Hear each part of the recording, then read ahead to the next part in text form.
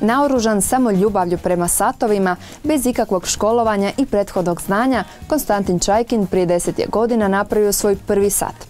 Bio to jedan od najkompliciranijih satova u Rusiji nakon 1917. godine, a složio ga je u nepunih godinu dana.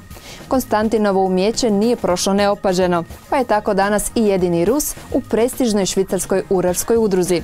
A njegovi luksuzni satovi, proizvedeni u potpunosti u njegovoj rodnoj zemlji, stekli su poklonike diljem svijeta.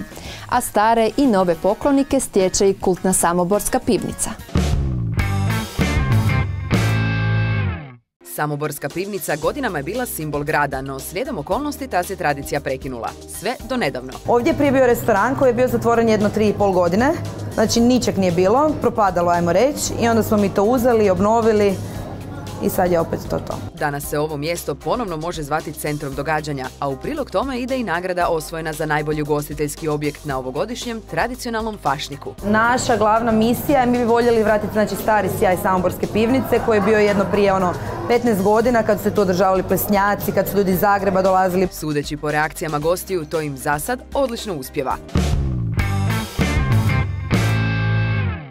Priliku za legalizaciju nezakonito sagrađenih objekata ne treba propustiti. Zagrebačka banka, prepoznavši potrebe klijenata, kreirala je posebne kredite, kojima obrtima, malim i srednjim trgovačkim društvima, zadrugama, ustanovama, obiteljskim poljoprivrednim gospodarstvima i osobama slobodnih zanimanja omogućuje da na vrijeme i uz što manje troškove legaliziraju objekte.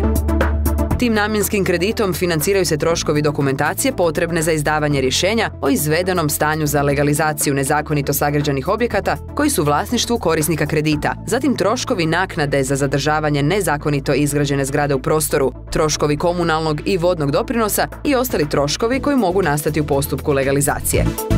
Uz odgovarajuću dokumentaciju moguća je i refundacija novca utrošenog za te namjene u prethodnih 12 mjeseci. Rok otplate može biti do 12 ili do 60 mjeseci, a kredit se može otplaćivati u mjesečnim ili tromjesečnim ratama.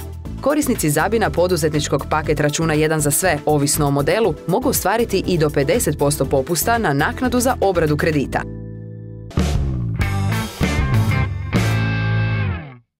Sve emisije koje ste propustili, kao i vijesti iz obrta i poduzetništva, čekaju vas na web stranici programa Obrtnik i partner.